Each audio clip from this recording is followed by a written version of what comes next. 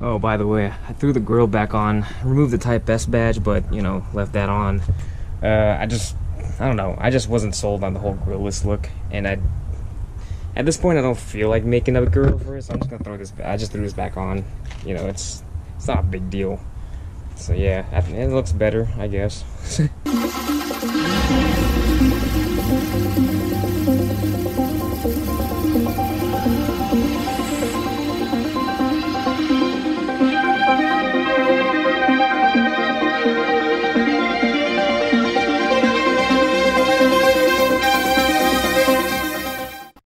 guys, what's going on?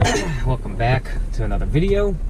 This video is not going to be anything too, nothing too crazy. I'm actually on my way to my parents. Well, I'm actually, I'm okay. I'm on my way to Steve's place because I need to pick up jack, a couple of jack stands, because I need to go back to my parents' house where my RSX is uh, uh, stored, I guess. And I need to take off the tires and bring them inside the house.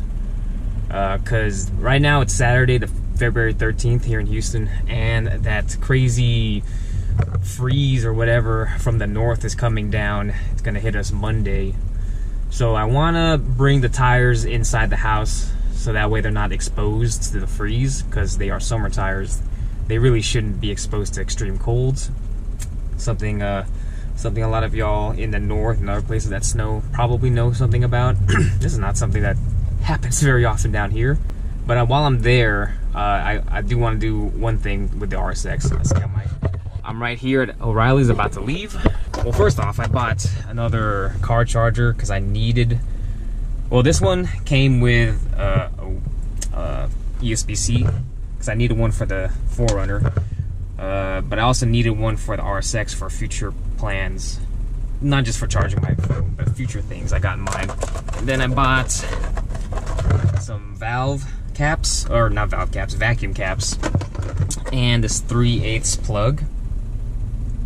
Because I'll be uh, deleting the, uh, I think it's, what's it called? The uh, ISS, the idle control, I don't know, idle control valve. I'll, I'll, I'll put it on the, I'll put it on the screen annotated because I don't remember what it's called, but it's a, it's a really simple, quick delete of something that's not really necessary on the car, especially since it's just a track toy and whatnot yeah, so I'm just waiting for Steve to let me know that he's home so I can go pick up that stuff real quick.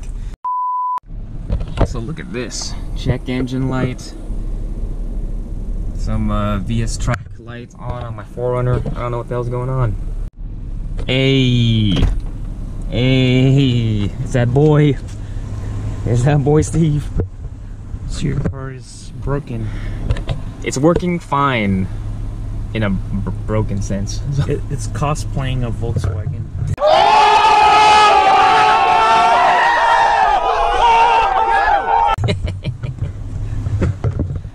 yeah, I don't, I don't understand. Like I, it was fine when I drove it yesterday, mm -hmm. and then I turned it on today, and uh, the lights are on. oh God. Oh, you know what? I should probably grab those while I'm here. Yeah. Because when I throw them back on, I might as well throw those on too. Yeah. Some uh, new to me, but but pre-owned by Steve. New lug nuts. These were on his uh. Fucking mess. These were on his S2K. F in the chats for that. I'm gonna grab these. All right. There's that. Steve's got the jack. I'll grab two more stands. These will do fine. I'm pretty sure the most over... Okay.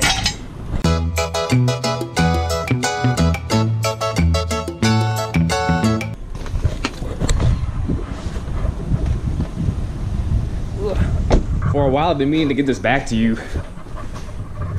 What is this? Compression tester. Oh shit!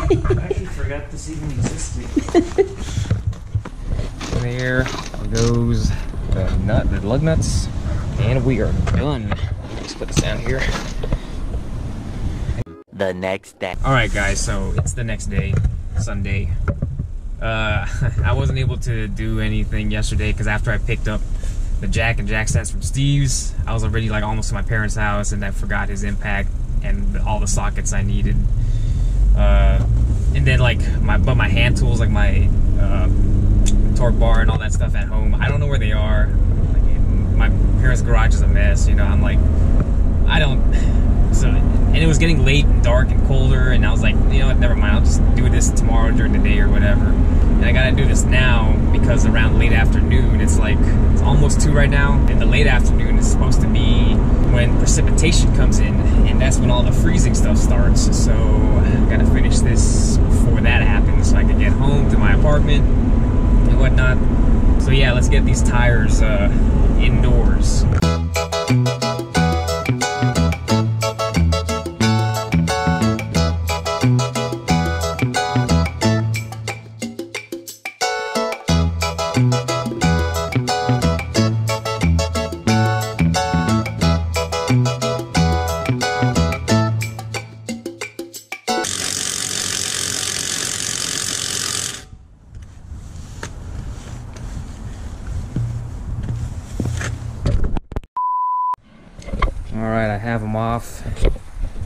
Was uh, it was actually a little bit more annoying than I thought. It was just this tire and the other side that was uh, left. Halfway through this, the uh, impact died. Um, I thought the battery died, but actually it still kind of works still.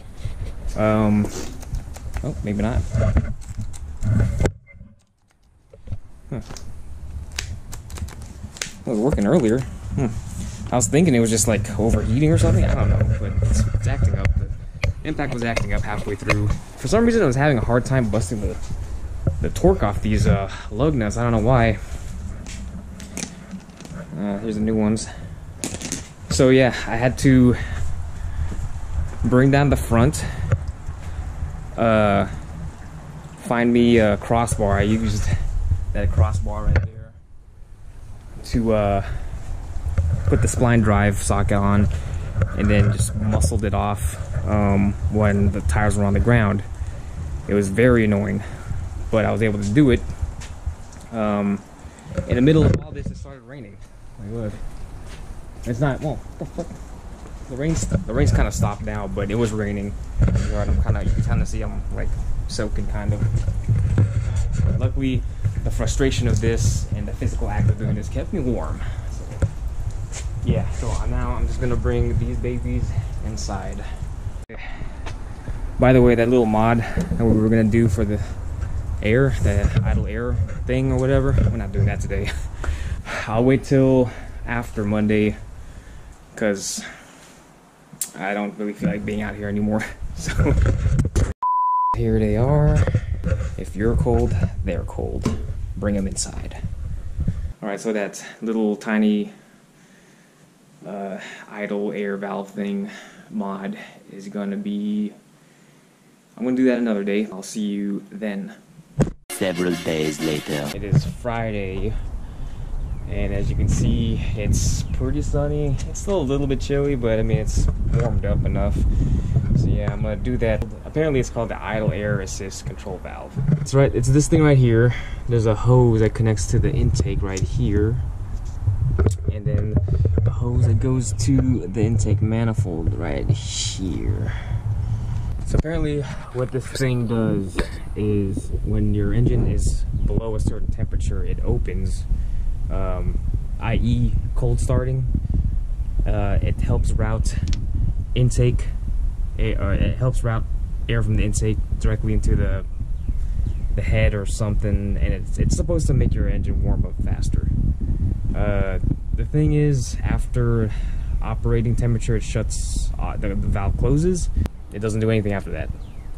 So a lot of people have deemed that this thing is actually kind of useless because even without that, your engine's going to eventually warm up to operating temperature anyways. So it's like there's really no point in, in like like deleting it will remove one thing that you have to worry about, regardless of how little and insignificant it is, and it'll help clean up the engine bay a little bit. So first, I'm going to remove these hoses from the intake into the manifold.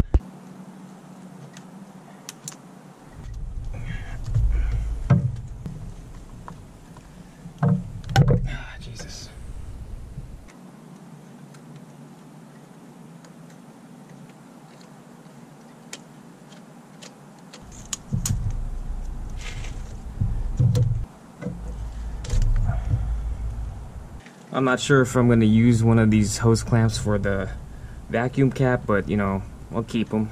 No sense in throwing them away.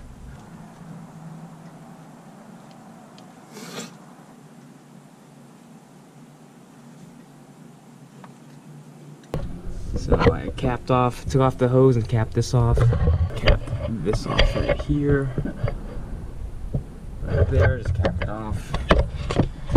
There's the valve right there. It's gonna, it's actually a little tricky to get to.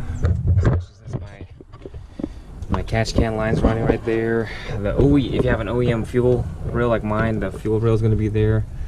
Uh, some people, it's easier because they have like a fuel tuck line with aftermarket fuel rails and all this stuff. Easiest way to get this off is using an O2 sensor uh, socket because it just slips right on. It's the same size as an O2 sensor, I believe. If you don't have that, then a 22 millimeter. So I found that I have a 22 millimeter impact uh, socket, and I have confirmed that it does go over this, the uh, the valve. See, you see it right there, but it looks different from earlier because what I did was uh, broke the plastic apart, took out all the springs and stuff of the valve, so I can actually get to the socket or to the socketed area.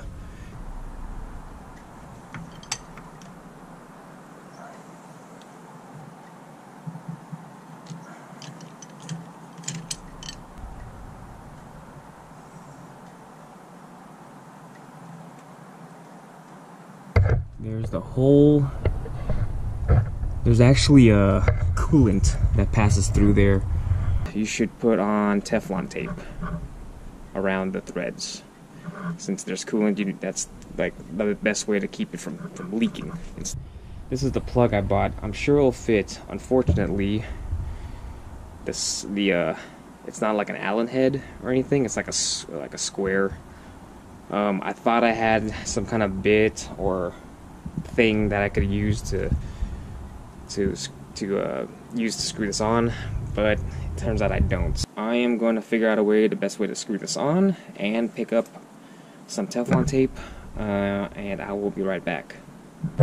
One eternity later. Uh, so I couldn't find a proper uh, like bit or screwdriver, I guess for it for that little uh, square hole for that plug, but I figured this would make do. I think it's a 3 8 uh, by 8 inch uh, screwdriver.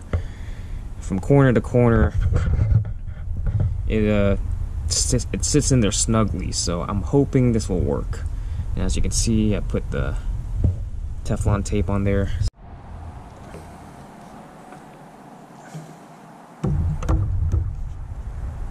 Alright guys, so it's done. As you can see, car's back on the on the ground with uh, the wheels on and everything. And as you can see, check out them new to me Mutekis. So it's gonna be so nice not having to use a spline drive no more. But anyways, so I'm gonna end it here. My GoPro's SD card is, is, is really annoying me. It keeps cutting out on me. If you like the video, like it, subscribe if you haven't yet to see more in the, more videos in the future.